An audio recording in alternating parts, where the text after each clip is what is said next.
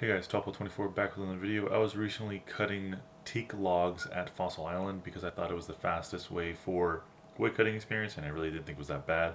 But obviously it's the fastest way if you can do your tick options, either your 1.5 tick options or your tick, tick options. And I'm not the best at ticking methods, so I just went, hey fiddle diddle, let's see what other methods we can do. And this amazing method came up. The most perfect AFK method in all of old school RuneScape is blisterwood logs. So if you're currently doing normal tick method for teak logs, get your butt on over here.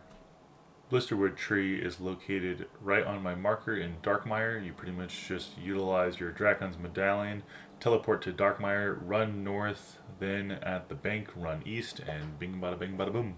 It requires 62 wood cutting and the Sins of the Father quest. You get approximately 65,000 wood cutting experience per hour. The great thing about blisterwood logs is that the tree never disappears. Every so often you will stop wood cutting on the tree, so all you have to do is just click back onto it.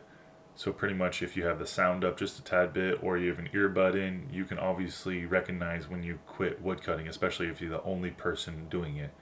Another thing too I shared in my other videos is that you want to have your custom left click drop on and pretty much just add another thing, just add a comma after whatever the other log is. Have your blisterwood logs right there. Then pretty much every single time, all you have to do is left click. You never have to utilize shift. You never have to right click for the rest of your life. And I really hope you enjoyed the video and get yourself to level 99 woodcutting. Thanks so much for watching.